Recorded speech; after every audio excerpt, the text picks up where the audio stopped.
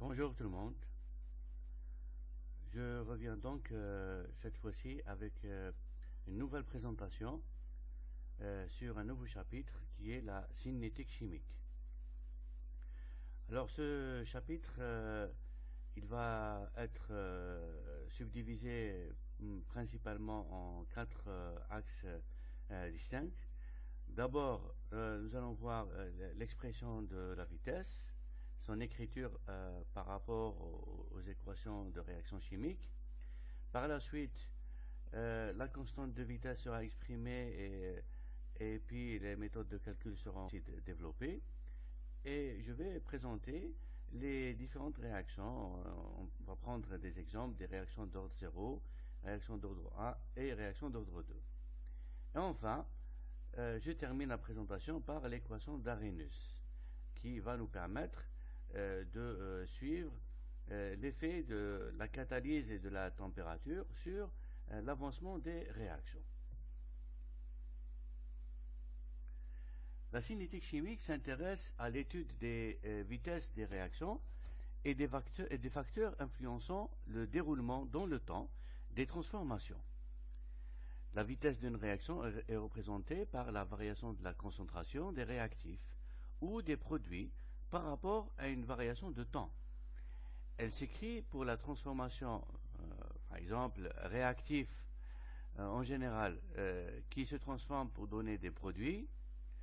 La vitesse, elle s'écrit par rapport à la variation de la concentration des réactifs par rapport au temps. Donc moins d réactifs sur dt, ou bien à l'apparition des produits par rapport au temps. Le signe négatif indique la disparition des réactifs et positif l'apparition des produits. Cette vitesse peut également être exprimée pour chaque composé d'une réaction en tenant compte des coefficients stoichiométriques. Prenons le cas général suivant. Alors, une réaction A plus B donne C plus T. On a la vitesse, elle s'écrit moins 1 sur petit a d de a sur dt, ou de la même manière par rapport à b, ou plus 1 sur c d de c sur dt, et de la même manière par rapport à d. Alors nous remarquons que le signe moins donc concerne la disparition des réactifs A et B, et le signe plus est celui de l'apparition des produits C et D. Les, euh, les, facteurs A, petit a, petit b, c et d sont les coefficients stoichiométriques. Exemple, l'hydrogène et l'iode se combinent pour former l'iodure d'hydrogène. La réaction I2 plus H2 donne 2HI. Alors nous remarquons ici que euh, une molécule de, l'iode réagit avec, une molécule d'hydrogène pour donner deux molécules HI.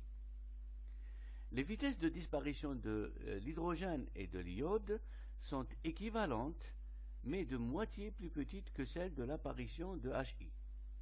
Ça veut dire quoi? Ça veut dire que HI, il apparaît plus rapidement que H2 ou I2 qui disparaissent. C'est normal, puisque chaque molécule, à chaque molécule de I2 qui disparaît, ce sont en même temps deux molécules de HI qui apparaissent. Ça veut dire que HI donc apparaît deux fois plus rapidement que I2. On peut le traduire ça euh, par rapport aux vitesses. On peut donc le dire que la vitesse d'apparition de, de HI, elle est deux fois plus grande que la vitesse de disparition de H2 ou la vitesse de disparition de I2. Donc la vitesse uniforme, elle devient euh, écrite comme euh, suggère cette équation générale. La vitesse est égale moins donc h2 sur dt, moins d de h2 sur dt, égale moins d de i2 sur dt, égale à plus 1 demi de d de hi sur dt. Donc il y a un d ici. Alors signe moins veut dire qu'il y a disparition, et signe, euh, signe plus équivalent à l'apparition. Donc on a divisé ici par 2 pour HI euh, par rapport à son coefficient stoichiométrique qui est dans l'équation. Alors, ordre d'une réaction et relation cinétique. La vitesse d'une réaction est directement liée à la concentration des réactifs. L'équation générale de la proportionnalité s'écrit. Donc on peut écrire que la vitesse d'une réaction est égale à une constante qu'on va appeler K fois la concentration des réactifs à la puissance alpha. Ça, c'est l'expression générale qui permet de calculer la vitesse d'une réaction. Donc la vitesse dépend bien des concentrations des réactifs. Mais cette dépendance, elle, est aussi reliée à un facteur alpha. Et alpha constitue l'ordre de la réaction. Donc K est la constante de vitesse, c'est celle qui va nous intéresser, nous allons la déterminer, et alpha représente l'ordre de la réaction, et nous, nous allons prendre donc des réactions d'ordre 0, euh, d'ordre 1 et d'ordre 2. Dans le cas d'une réaction à plusieurs réactifs, alpha représente l'ordre global, qui est la somme des ordres partiels. C'est-à-dire qu'on peut avoir, par exemple, pas un seul réactif, mais plusieurs. Chaque réactif, a son ordre de réaction. Pour déterminer l'ordre global, nous devons tout simplement euh, faire la somme et additionner les ordres partiels. Par exemple, pour une réaction A plus B dans des produits, donc il va y avoir un ordre par rapport à A et un autre par rapport à B. Et la vitesse, elle s'écrit K fois A puissance gamma fois B puissance bêta. L'ordre de la réaction, c'est gamma plus bêta égale alpha. Attention, il ne faut pas confondre euh, les ordres partiels par, au coefficient stoichiométrique. Donc ça n'a rien à voir. Euh, l'ordre partiel n'est pas systématiquement égal au coefficient stoichiométrique. Il peut être différent.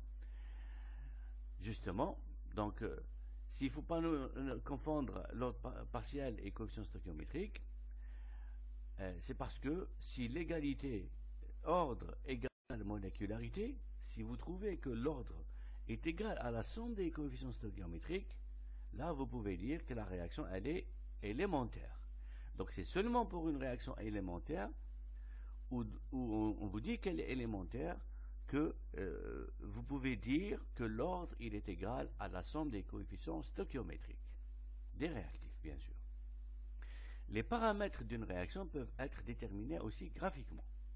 Alors on a, puisque la vitesse égale à une constante k fois la concentration des réactifs à la puissance alpha, nous pouvons réarranger donc un peu l'équation, introduire le logarithme népérien et elle s'écrit logarithme v égale logarithme k plus alpha logarithme réactif. Donc, euh, on a transformé l'équation en une équation euh, linéaire d'une droite. Elle peut être alors euh, tracée, et si elle sera tracée, on va tracer logarithme V en fonction de logarithme réactif, et on aura ici comme pente alpha, voilà, et comme ordonnée à l'origine, on aura donc logarithme k ce qui va nous permettre donc de déterminer à la fois l'ordre et la constante de vitesse en même temps, avec juste le tracé des vitesses en fonction des euh, concentrations. Pour déterminer les ordres, la méthode généralement employée est de maintenir la concentration d'un des deux réactifs constante et de suivre la variation de la vitesse par rapport à l'autre réactif. Donc il y a aussi, à part la méthode graphique, on peut le, faire de, euh, de manière empirique, euh, si par exemple on a des valeurs des concentrations des réactifs. Alors on va faire justement une application. Alors considérons la réaction suivante. NO2 plus CO donne NO plus CO2. Voilà. Pour cette réaction, nous allons tenter donc de déterminer les ordres par rapport à NO2 et par rapport à CO et ensuite l'ordre global. Alors, le tableau donne les vitesses en fonction des concentrations initiales de NO2 et de CO pour différentes expériences.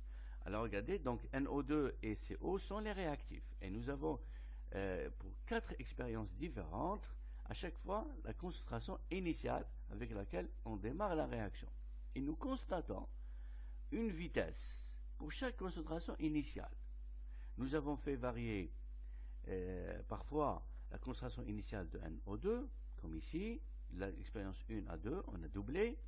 De l'expérience 2 à l'expérience 3, on n'a pas modifié la concentration initiale de NO2. Par contre, on a changé la concentration initiale de CO et on va voir les conséquences sur la vitesse. On va voir si la vitesse va dépendre de CO ou bien va-t-elle dépendre de NO2. Les questions, déterminer les ordres partiels par rapport à NO2 et CO. Ensuite, exprimer la loi de vitesse et calculer la constante. Donc, la correction de, l'exercice. Donc, nous euh, reprenons ici la, question. L'équation de la vitesse en général, bien sûr, elle s'écrit en fonction des réactifs, comme on l'a vu tout à l'heure.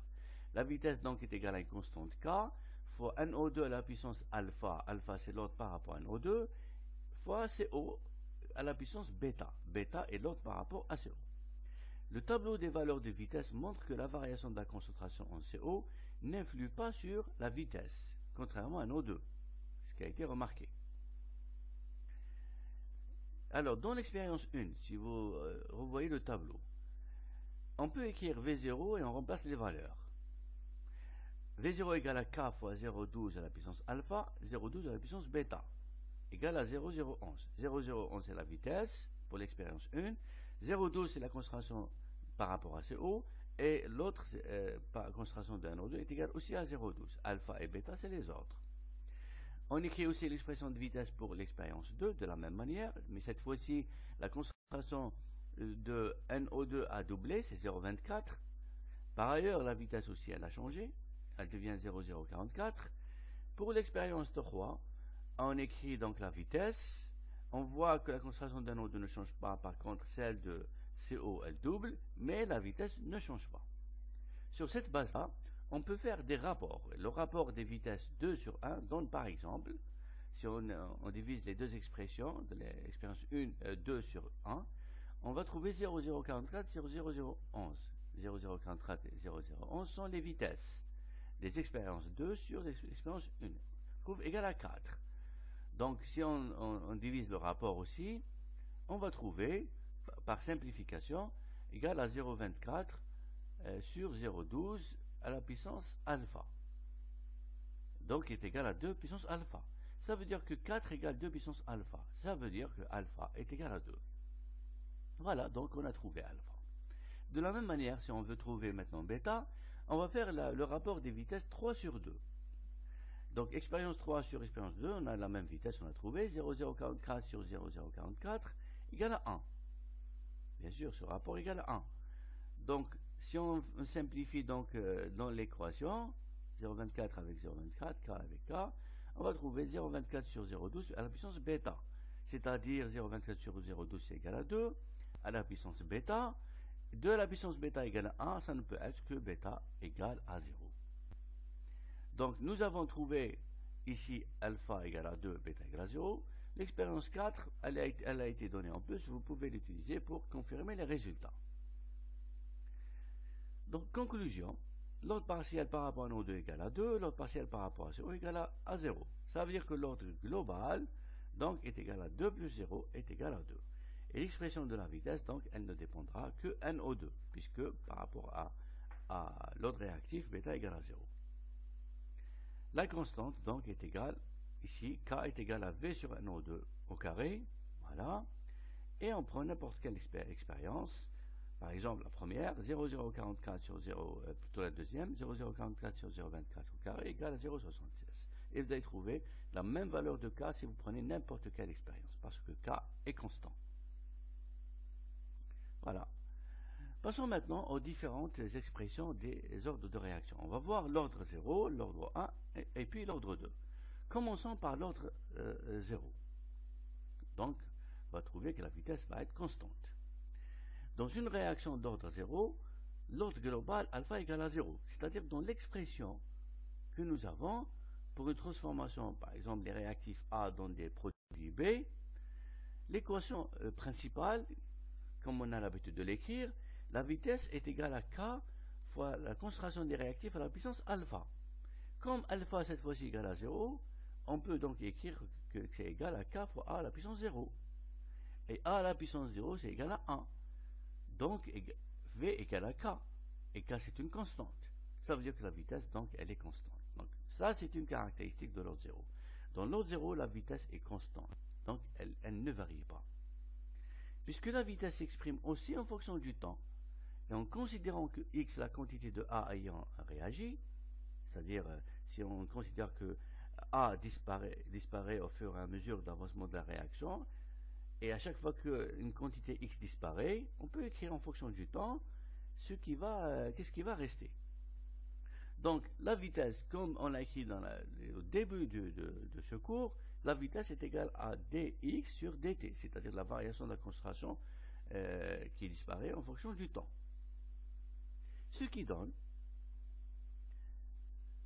je ramène k avec dt, donc k fois dt égale dx dt et dx, ce sont les variations partielles.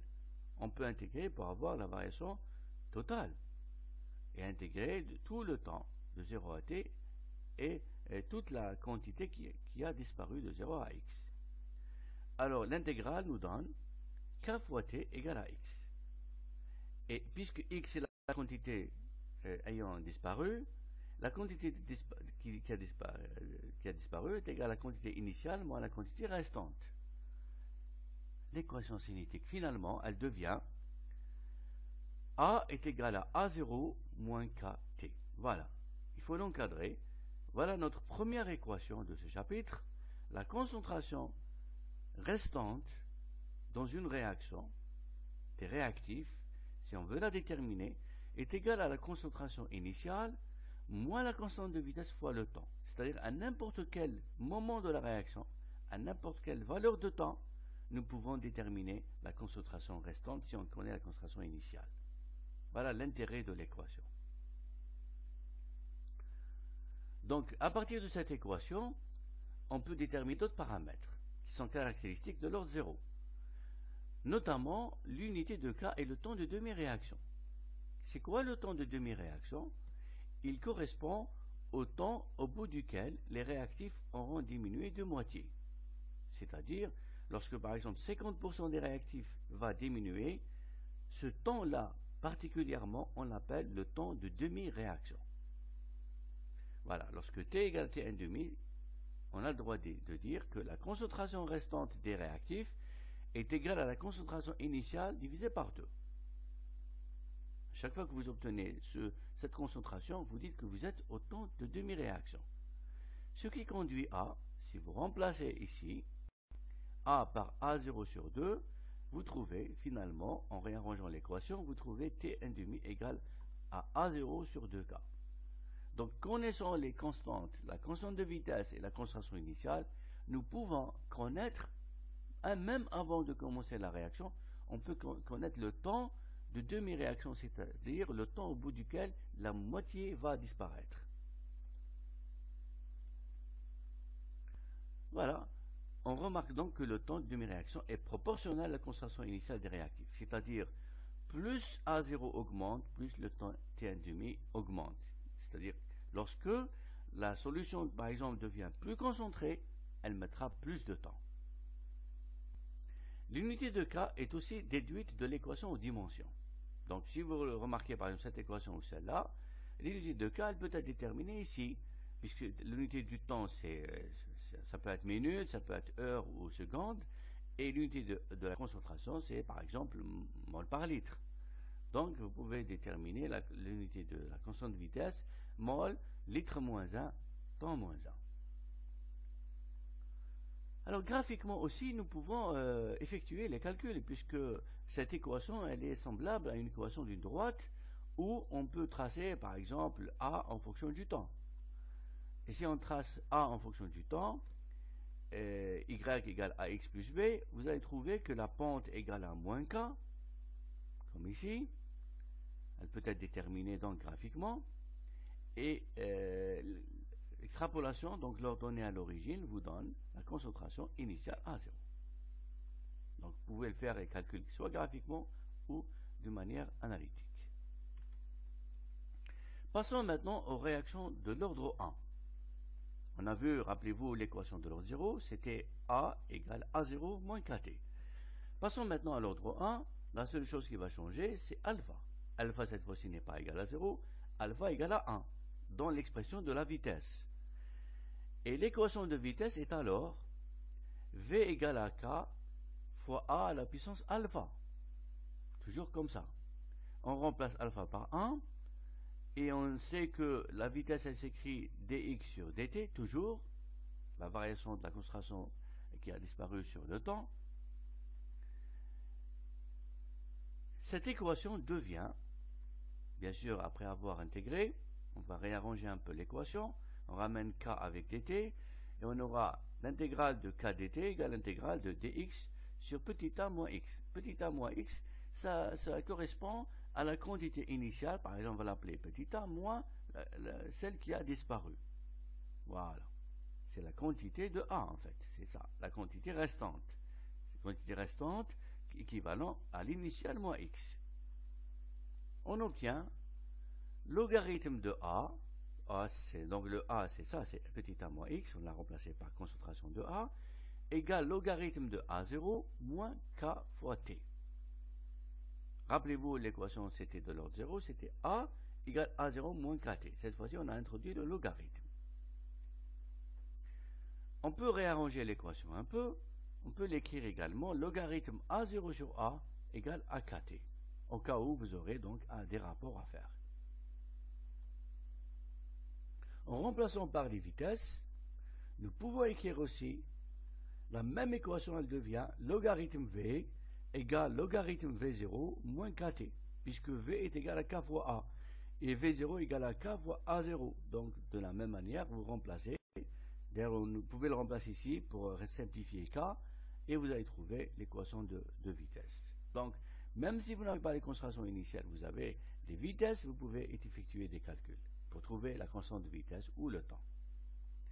De la même manière, puisque euh, nous avons maintenant l'équation générale, vous l'avez encadrée, elle est connue, c'est notre deuxième équation, en remplaçant la concentration restante par A0 sur 2, c'est-à-dire au moment où le temps est, égal au temps d'un demi, nous savons que le temps 1 demi c'est la moitié qui va rester, l'équation aboutit à, donc si vous remplacez ici par A0 sur 2, vous réarrangez, vous allez trouver que T 1 demi égale logarithme 2 sur K. Regardez ici l'équation, il n'y a pas euh, dans cette équation aucune trace des concentrations de A ou de A0. Ça veut dire que T 1 demi il est constant pour l'ordre 1. Effectivement, ça, c'est une caractéristique de l'ordre A. T1,5, il est indépendant de la concentration. Quelle que soit la concentration initiale, qu'elle soit diluée ou concentrée, le temps de demi-réaction, il va rester le même pour, une réaction donnée. Est égal à logarithme 2 sur K. Voilà.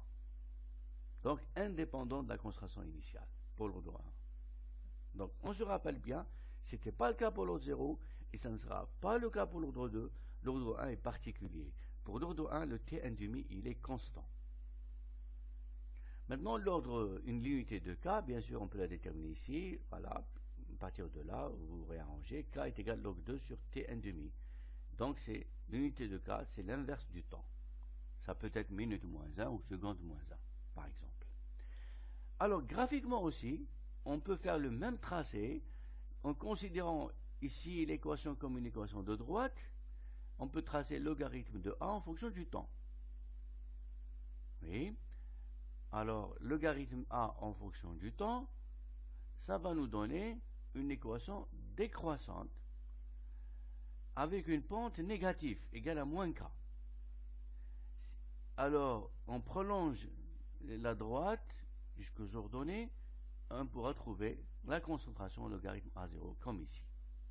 C'est-à-dire lorsque le temps égale à 0. Voilà, la pente de la droite donc conduit à K et l'ordonnée à l'origine représente le logarithme A0. Donc vous pouvez faire les calculs aussi bien graphiquement ou à partir des données analytiques. Un exercice d'application. L'hydrolyse du sucrose, C12H12O11 en fructose et en glucose, obéit à l'équation de vitesse V est égal à 0,03592 fois la concentration C12H22O11 au mol par litre par heure. Voilà, vous avez cette fois-ci l'expression de vitesse, elle est donnée. V égale à K fois A. Calculez le temps au bout duquel la concentration du sucrose passe de 0,015 mol par litre à 0,013 mol par litre à la température de 300 K. Donc c'est clair. On a deux concentrations. On veut, on veut connaître le temps qu'il faut pour passer d'une concentration à une autre. On a tout ce qu'il faut puisqu'on a la vitesse et l'expression de vitesse. Voilà, correction de l'exercice. Très facile. L'équation de vitesse, puisqu'elle s'écrit comme ça, elle est donc de type V égale à K fois A. Qu'est-ce que ça nous rappelle une vitesse égale à K fois A? Ça nous rappelle alpha égale à 1. Ça veut dire que nous sommes dans l'ordre 1, puisqu'on n'a pas écrit K fois A au carré ou bien K fois A à la puissance 0. On a écrit K fois A puissance 1. Et puissance 1, ça veut dire que alpha égale à 1, c'est l'ordre 1. Voilà. Donc c'est l'ordre 1. Et K représente, si on superpose ici, c'est 0,0392. Voilà, nous avons donc les données. Nous avons K et nous avons l'équation. Et on connaît l'ordre. Puisqu'on connaît l'ordre, nous connaissons l'équation de cinétique de l'ordre 1. Rappelez-vous, c'est lna égale lna0 moins kt. Le temps nécessaire pour la variation de la concentration sucrose, on, a le temps, donc à partir de cette équation, on peut le déterminer. 1 sur k, logarithme concentration initiale, elle est donnée, 0,015, moins concentration euh, finale, 0,013. Concentration restante. On a k ici, on fait le calcul et on trouve 3,65 Vous voyez donc, on peut faire le calcul et on peut déterminer n'importe quel temps à n'importe quel moment de la réaction. Et on peut faire d'autres calculs. On peut par exemple, au lieu de calculer le temps, si on a le temps, on peut calculer la concentration. Si on a la concentration et temps, on peut calculer la vitesse, on peut calculer la constante de vitesse. Donc, quels que soient les, paramètres euh, recherchés, nous avons l'équation cinétique, celle-là, qui permet de faire le calcul. Et c'est celle-là que nous avons employée parce que nous savons que nous sommes dans l'ordre 1. Nous l'avons su à partir de l'équation cinétique.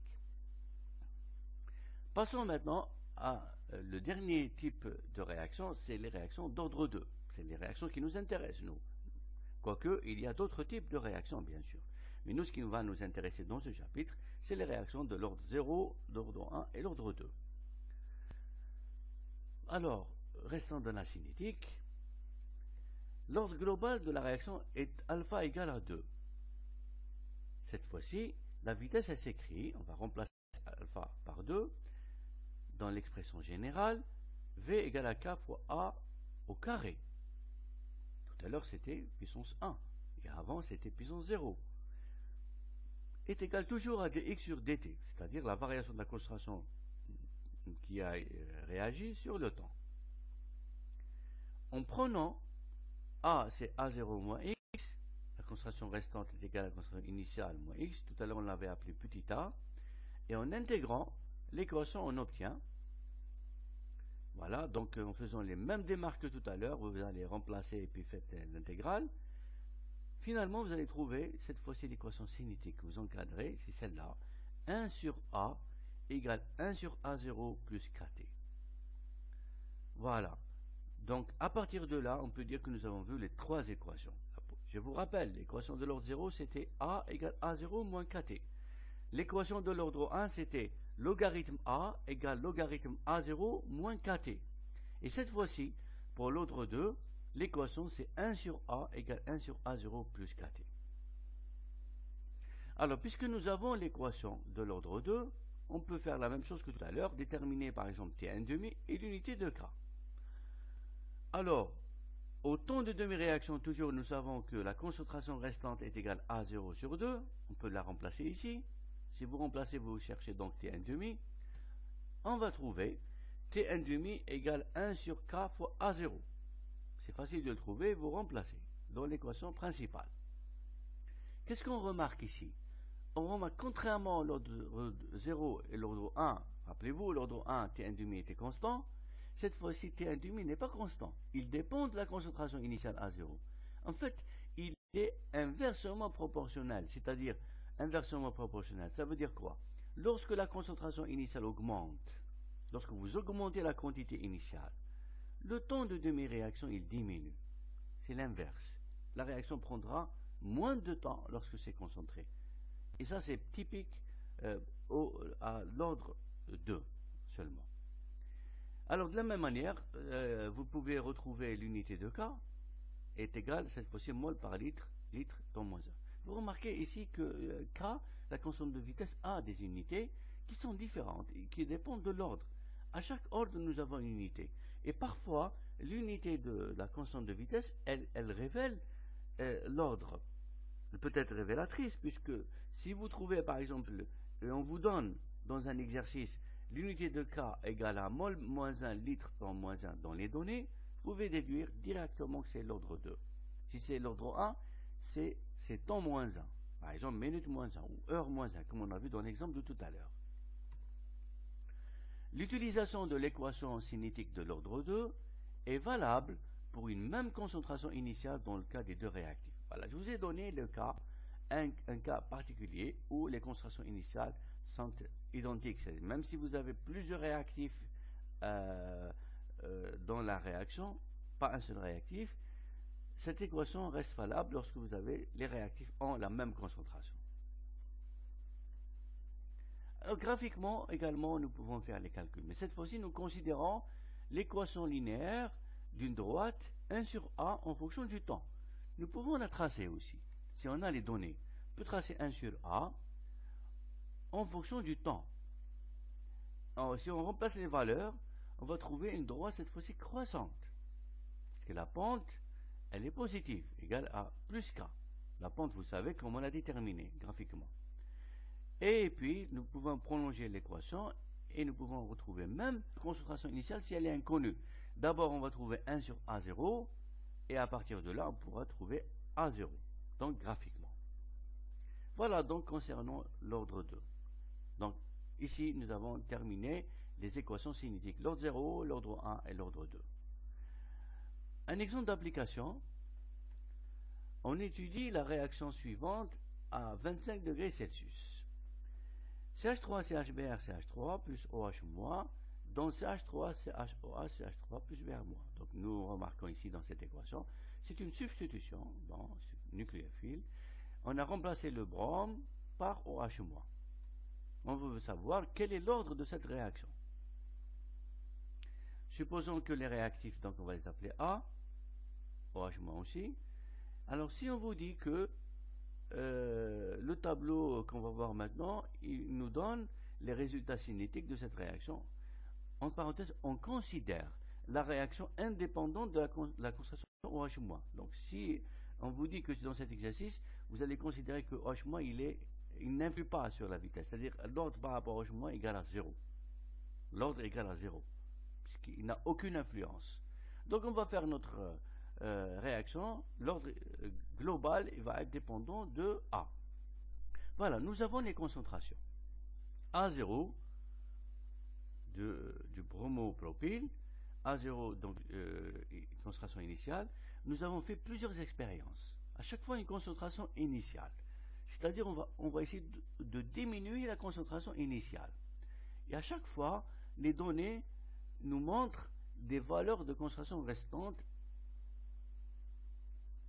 voilà, qui sont là écrites, et le temps correspondant. Ici, par exemple, lorsque la concentration passe de 10 1 à 5 10 2, le temps, euh, c'est 200. Lorsqu'elle passe de 5 10 puissance moins 2 à 2,5 10 puissance moins 2, c'est 400, etc. Quel est l'ordre de cette réaction d'après vous? Déduire ensuite l'expression de la vitesse. La réaction est-elle élémentaire? Voilà, c'est une question à laquelle on va répondre aussi. Enfin, est-ce que euh, vous pouvez déterminer aussi la constante de vitesse à partir de ces données? Donc le plus important, c'est de déterminer l'ordre. Qu'est-ce que vous remarquez si vous euh, regardez de nouveau le tableau? Remarquez par exemple en vert. La concentration, elle passe de 10 puissance moins 1 à 5 10 moins 2, c'est-à-dire 0,5 10 moins 1. C'est quoi le rapport entre les deux? On voit que 5 10 moins 2, c'est la moitié de 10 puissance moins 1. Qu'est-ce que ça veut dire la moitié? Ça veut dire que nous sommes au temps de demi-réaction. Ça veut dire que ce temps qui est donné, c'est un temps de demi-réaction.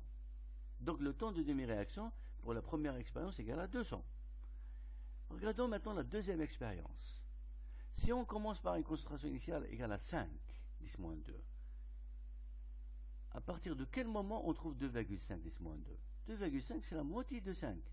Ça veut dire là aussi, normalement le temps ici, c'est le temps de demi-réaction, parce que nous sommes à la moitié qui ont réagi. Cette fois-ci, le temps de demi-réaction égale à 400. La troisième expérience aussi, on remarque que nous sommes dans le temps de demi-réaction, puisque 1,25 c'est la moitié de 2,5. Et la dernière aussi, 6,25 10 moins 3, c'est la moitié de euh, 12,5 10 moins 3. Donc remarquez ici, à chaque fois nous sommes dans le temps de demi-réaction. Mais ce que nous remarquons, c'est que le temps de demi-réaction n'est pas constant. Égal à 200, ensuite 400, ensuite 800 et 1600. Puisqu'il n'est pas constant, nous allons écarter l'ordre 1. Parce que nous savons, d'après ce que nous avons vu tout à l'heure, que pour l'ordre 1, le, temps de demi-réaction est constant. Voilà. Donc, puisque c'est variable, l'ordre 1 est exclu. Mais puisque cette fois-ci, les valeurs sont inversement proportionnelles, oui, inversement proportionnelles aux concentrations initiales. Regardez, plus, plus la concentration initiale diminue, on passe de 10 moins 1 à 5 10 moins 2 à 2,5 10 moins 2 à 1,25 10 moins 2, c'est-à-dire la concentration initiale diminue. Parallèlement, le temps, il augmente le temps de réaction. Donc si le temps augmente et la concentration initiale diminue, ça veut dire que c'est inversement proportionnel. Ça c'est quoi? Ça c'est typique de l'ordre 2, comme nous l'avons déjà vu. Voilà. Donc on déduit que nous sommes dans la réaction de l'ordre 2. Vous avez vu, donc c'est facile de déduire l'ordre uniquement à partir de l'observation des tableaux, des valeurs du tableau. On observe les valeurs, on constate que le temps qui est donné, c'est un temps particulier, c'est un temps de demi-réaction. Donc nous pouvons déduire à partir de là euh, l'ordre de la réaction uniquement à travers cette variation. Alors, deuxième question. Puisque l'ordre qui a été trouvé est égal à 2, et puisque la, molécularité est égale à 1 plus 1, que ça veut dire la molécularité? Je vous, rappelle que la molécularité, ça veut dire que c'est les coefficients stoichiométriques. Je vous rappelle la réaction. La voici. On a une molécule de CH3, CHB, CH3 réagit avec une molécule de H-. Donc 1 plus 1 égale à combien?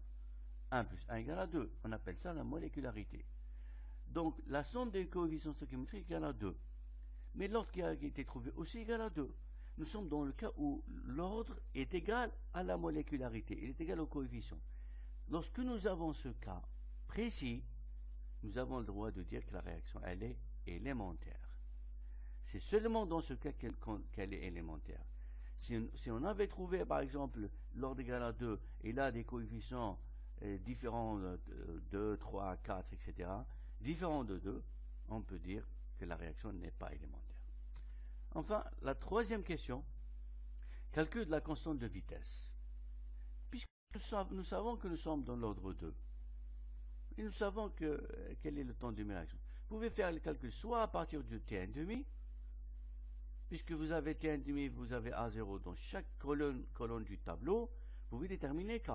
K va être ramené ici, K est égal à 1 sur A0, T1,5. Vous pouvez faire le calcul, vous avez trouvé le même K, bien sûr, à n'importe quelle euh, colonne.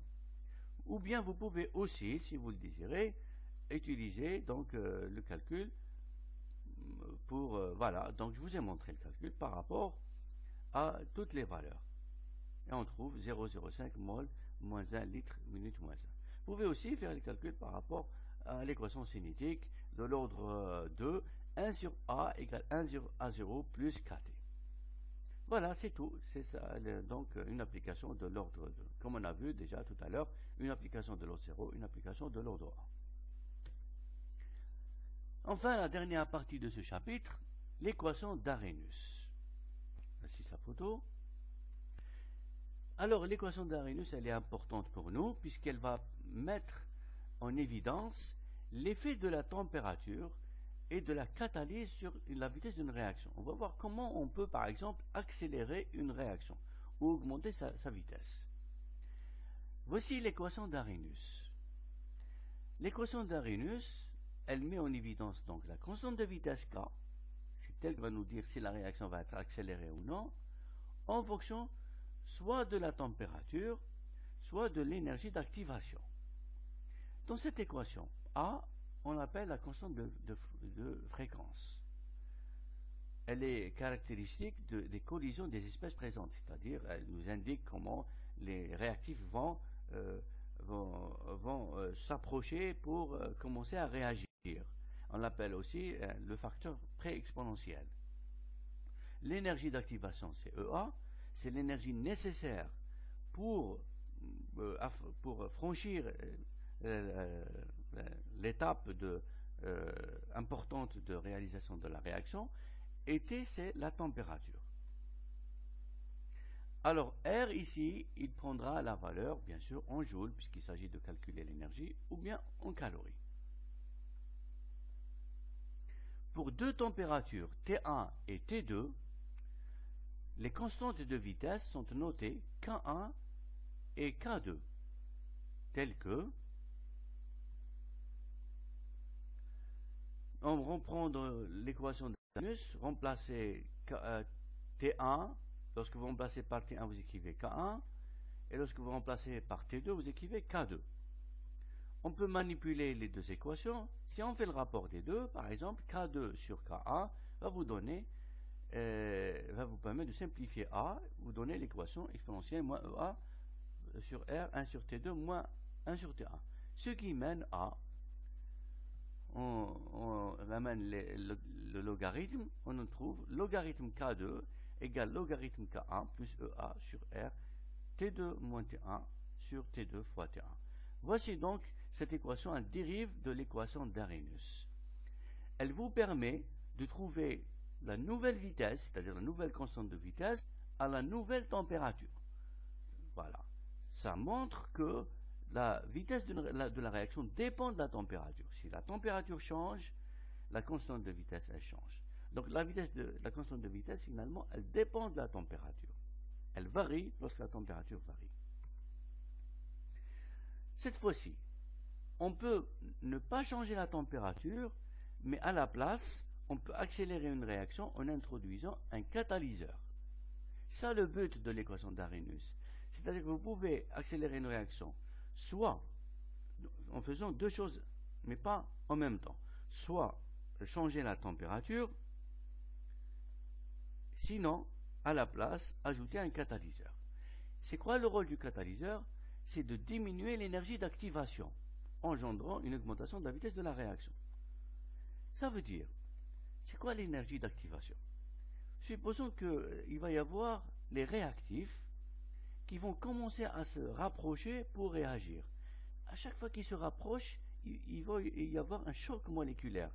Et l'énergie, elle va augmenter. Au fur et à mesure où elle augmente, jusqu'à atteindre un summum, un maximum, et puis la réaction, elle va avoir lieu, il va y avoir formation de nouvelles liaisons et production des produits.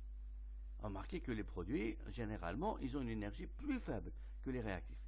Et l'écart, cet écart entre produit et réactif, c'est ce que nous avons déjà appelé le delta H, c'est-à-dire l'enthalpie de la réaction.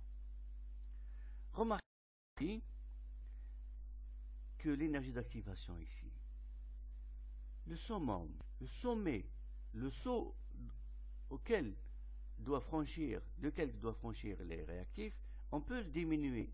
Cet obstacle, on peut le diminuer en ajoutant un catalyseur. Et cet écart-là qu'il faut franchir, c'est l'énergie d'activation. Regardez, l'énergie d'activation euh, avec catalyseur, quelle était sa valeur? Elle a diminué par rapport à l'énergie d'activation quand on a fait la réaction sans catalyseur. Donc le rôle du catalyseur, comme vous pouvez le, constater, c'est de réduire le barrage que, que doit, par exemple, franchir les réactifs. Les réactifs doivent sauter pour euh, se transformer en produit, là, le saut, il est plus, euh, plus simple avec le catalyseur. Voilà, donc on observe que la réaction réalisée avec catalyseur se fait plus rapidement vu que la barrière énergétique à franchir, qui est l'énergie d'activation, est plus faible. Donc EA' est plus faible que EA. Donc là, on n'a pas du tout parlé de température. Ça veut dire que la, la vitesse de la réaction, elle va changer. Regardez, si vous regardez de nouveau l'équation d'Arrhenius, vous constatez que lorsque EA' est inférieur à A, vous allez constater que la constante de vitesse nouvelle K', synonyme de vitesse, est supérieure à K, c'est-à-dire la nouvelle vitesse est plus grande. La réaction donc elle est plus rapide. Donc pour le montrer, voici l'équation d'Arrhenius. Lorsque nous avons EA, on a K, c'est-à-dire sans catalyseur. Avec catalyseur EA', on écrit K', la température on ne la change pas. Le rapport, cette fois-ci aussi, nous donne K' sur K, le voici le rapport. On peut manipuler ce rapport et on peut trouver que l'écart d'énergie d'activation dû au catalyseur est donc obtenu grâce à l'équation. Voilà, cet écart-là. On peut calculer EA moins EA' est égal RT logarithme K' sur K. On peut savoir combien on a gagné en énergie d'activation. Et de la même manière, si on connaît cet écart d'énergie d'activation, c'est de combien on a augmenté la, réaction, nous pouvons déduire ici la nouvelle constante de vitesse si on connaît la première constante de vitesse. Allez, on fait une application par rapport à cette question. Lors d'une transformation chimique, la constante de vitesse K a été déterminée pour deux températures, 280 et 360. Cette fois-ci, on va changer la température. Et à chaque fois, nous avons une constante de vitesse, K1 et K2. On, voit que la constante de vitesse, elle augmente lorsque la température augmente. Quelle est alors l'énergie d'activation de cette réaction? Voilà, on va déterminer EA. Et nous connaissons l'équation d'Arrhenius. Deuxièmement, la constante de, vitesse aura quelle valeur à température 320 Voilà, une autre température complètement différente, ni la première ni la deuxième. puisque la constante de vitesse, elle est constante, euh, normalement, est-ce qu'elle peut changer? Oui, elle peut changer, bien sûr, lorsqu'on change la température, on l'a dit, mais elle peut aussi changer avec l'énergie d'activation. Dans notre cas, ça sera la température. L'énergie d'activation est reliée à la température et à la constante de vitesse par la loi d'Arrhenius. toujours la loi d'Arrhenius qu'on va appliquer, c'est celle-là. Il faut la retenir. Nous l'avons encadrée. C'est la quatrième équation de ce chapitre. Si on considère que le facteur pré-exponentiel A, dans l'équation d'Arrhenius, le A, garde la même valeur dans l'intervalle de température, on peut écrire 0,35, c'est on remplace, hein, la première, euh, euh, constante de vitesse avec la première température, donc c'est EA, et la deuxième constante de vitesse avec la deuxième température, 10,4, avec 360. Ça, première équation, deuxième équation.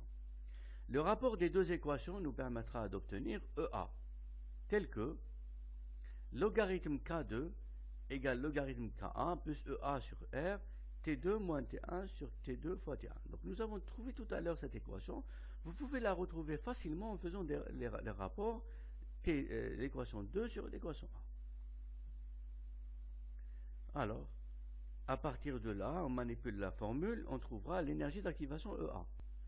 L'application numérique, on a toutes les valeurs, on a les températures, on a les constantes de vitesse, on va trouver L'énergie d'activation, donc, égale à 35,51 kJ. Voilà. Donc, on a euh, euh, la température, on a la constante de vitesse, on a l'énergie d'activation qui a été trouvée. Cette valeur de l'énergie d'activation est employée pour le calcul de la nouvelle valeur de la constante de vitesse à la nouvelle température, cette fois-ci 320, ni 360 ni 280. Alors, remplaçons dans l'équation cinétique K. Si on considère cette fois-ci une troisième formule qui diffère de la première et de la deuxième par la nouvelle constante K et la nouvelle température 320 au lieu de 280 ici, au lieu de 360 là. Si on fait par exemple le rapport 3 sur 1, ou même 3 sur 2 si vous voulez, vous allez bien sûr simplifier A, vous allez trouver l'application numérique, la constante de vitesse égale à 2,358 secondes moins 1. Ça, c'est la constante de vitesse qui a été trouvée à la température, euh, température de 320. Remarquez, 2,35, elle est entre 10,4 et 0,35. Parce que la température qu'on a choisie ici, 320, elle est entre 280 et 360. Voici donc, quel que soit le cas, on a appliqué une seule formule ici, c'est l'équation d'Arrhenius. Et l'équation d'Arrhenius s'applique à chaque fois qu'il y a changement de température, ou bien un changement de l'énergie d'activation à l'aide du catalyseur. Voilà, donc c'est la fin de ce chapitre. Je vous remercie euh, pour avoir suivi cette vidéo.